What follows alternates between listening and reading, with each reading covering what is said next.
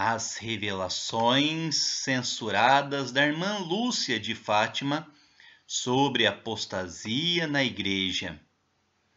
As aparições de Fátima são a chave para compreender a crise que a Igreja atravessa, assim como o mundo todo. A irmã Lúcia de Fátima revelou ao padre Fuentes em 1957 uma série de importantes mensagens. E então o padre Fuentes foi punido por revelar o que a irmã Lúcia havia lhe dito. Nesse vídeo será falado sobre as revelações que a irmã Lúcia fez ao padre Fuentes em 26 de dezembro de 1957, o padre mexicano Agustín Fuentes teve um encontro com a irmã Lúcia em seu convento, localizado em Coimbra. O motivo era discutir as causas de beatificação de Francisco e Jacinta Marto. Ele havia sido designado como postulador desta causa.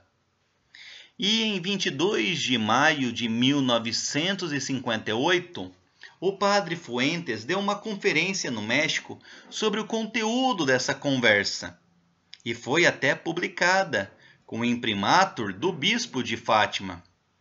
Mas então, o padre Fuentes foi objeto de uma operação contra ele por causa do conteúdo de sua palestra e foi demitido como postulador da causa de beatificação de Francisco e Jacinta Marto.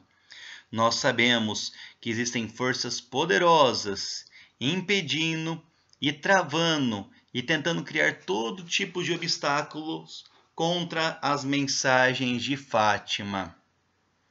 Então vamos ver agora as revelações que o padre Fuentes diz a partir de sua conversa com a irmã Lúcia ele começa relatando a irmã Lúcia dizendo: Ninguém fez caso. Senhor Padre, a Santíssima Virgem está muito triste, porque ninguém fez caso de sua mensagem, nem os bons nem os maus.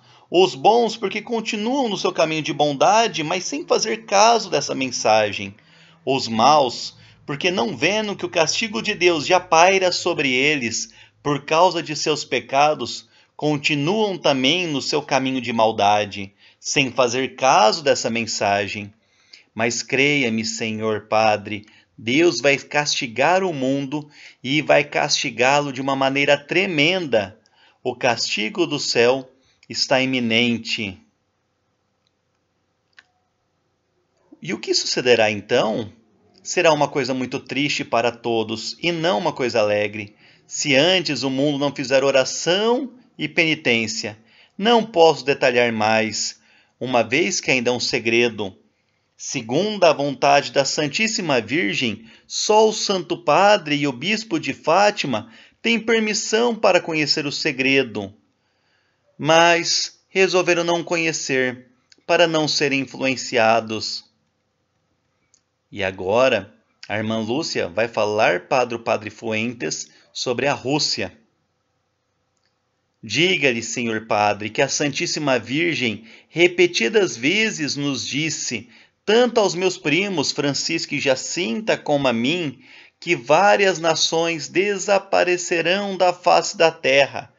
Disse que a Rússia seria o instrumento do castigo do céu para todo o mundo se antes não alcançássemos a conversão desta pobre nação. E ela continua com suas importantes revelações. Senhor Padre, o demônio está travando uma batalha decisiva contra a Santíssima Virgem. E como o demônio sabe que o que mais ofende a Deus e o que em menos tempo lhe fará ganhar o maior número de almas, trata de ganhar para si as almas consagradas a Deus, pois que dessa maneira o demônio deixa também as almas dos fiéis desamparados pelos seus chefes, e assim mais facilmente se apodera destas almas. o que aflige o imaculado coração de Maria e o sagrado coração de Jesus é a queda das almas dos religiosos e dos sacerdotes. O demônio sabe que os religiosos e os sacerdotes que deixam a sua bela vocação arrastam numerosas almas para o inferno. O demônio quer tomar posse das almas consagradas, tenta corrompê-las para adormecer as almas dos leigos e levá-las deste modo à impenitência final. E assim emprega todos os truques, chegando até sugerir que adiem a entrada na vida religiosa.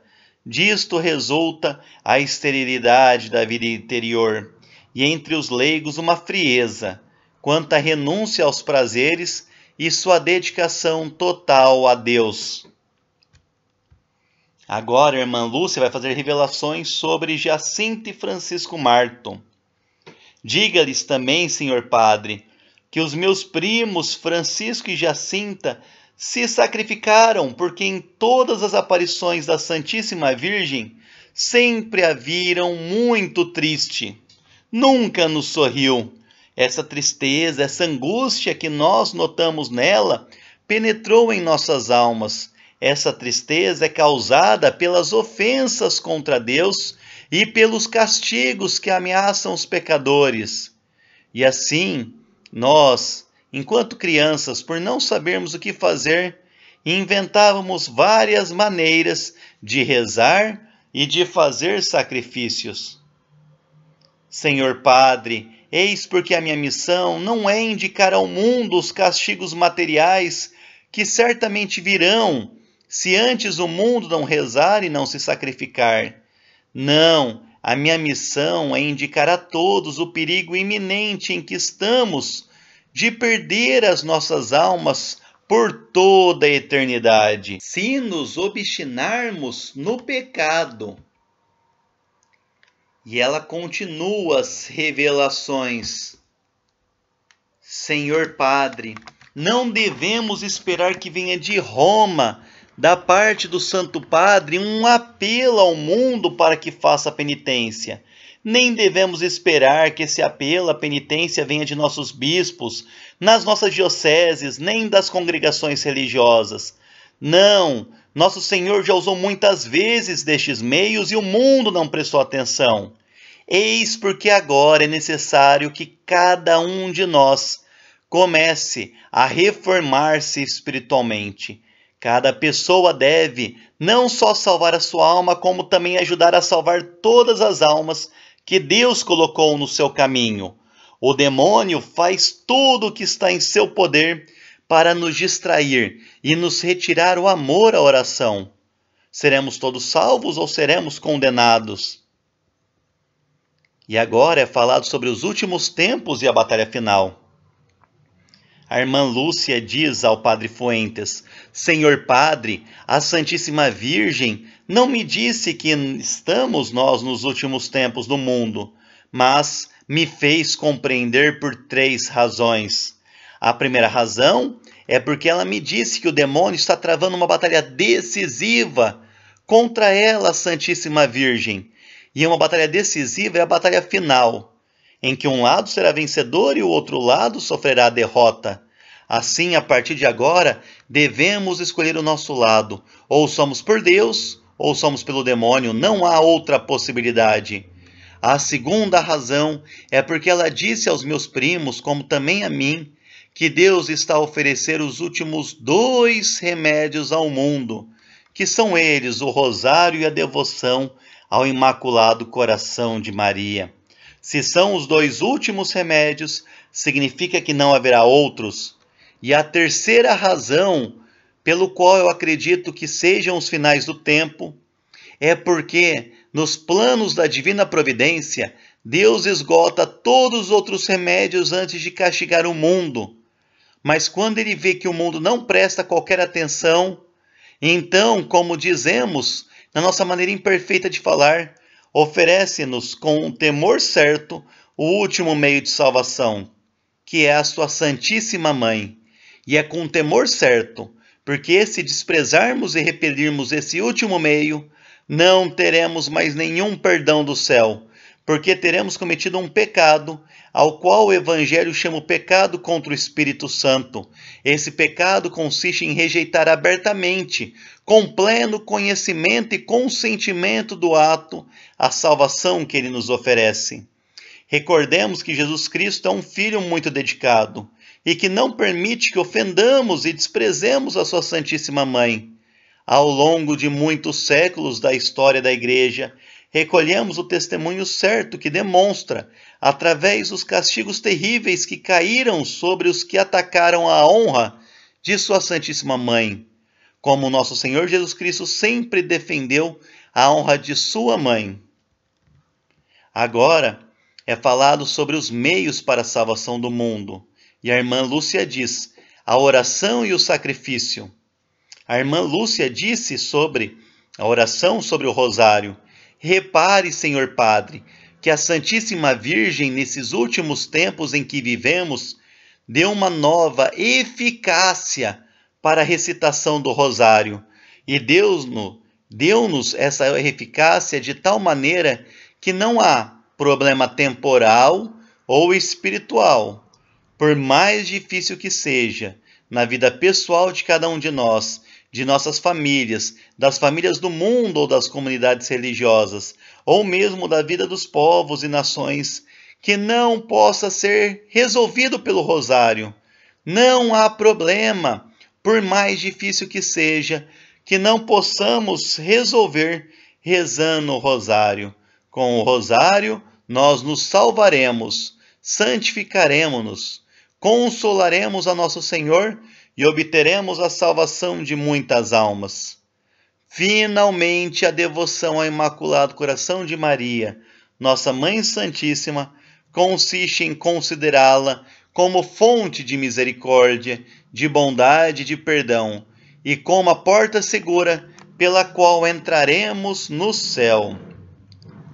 Essa mensagem do Padre Fuentes é muito importante. Quantas revelações preciosas!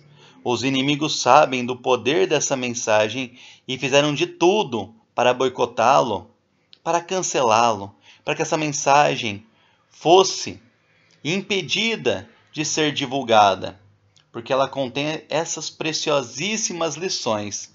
Estamos nos finais dos tempos. Estamos em tempos decisivos, só tem dois caminhos, ou estar do lado de Deus ou do lado do demônio. E se estivermos do lado de Deus, venceremos. E para isso temos que usar as armas que foram ditas e ensinadas, fazer sacrifícios, fazer pequenos sacrifícios, penitências diárias, fazer coisas que não gostamos e deixar de fazer coisas que gostamos, oferecer pequenos sacrifícios diariamente. Também é importante a oração, recitação do rosário, como foi dito, não tem problemas que não possam ser resolvidos por meio do rosário que rezemos o rosário diariamente. E também foi falado da importância do coração imaculado de Nossa Senhora, que possamos nos consagrar a Nossa Senhora, fazer a consagração de São Luís Montfort. Quem não fez, que faça, e quem já fez, divulgue essa consagração, essa arma tão importante, porque com esses meios nós estaremos do lado de Deus, de Nossa Senhora, estaremos com a vitória ao nosso lado. São as armas necessárias nesses tempos de combate que se você gostou desse vídeo, passe adiante, compartilhe. Vamos espalhar as mensagens de Nossa Senhora que a irmã Lúcia deu ao Padre Fuentes, que são preciosíssimas armas para nossa santificação e de tantos outros que vão tirar importantes meios de combate espiritual nesses momentos decisivos que vivemos. Salve Maria, salve José.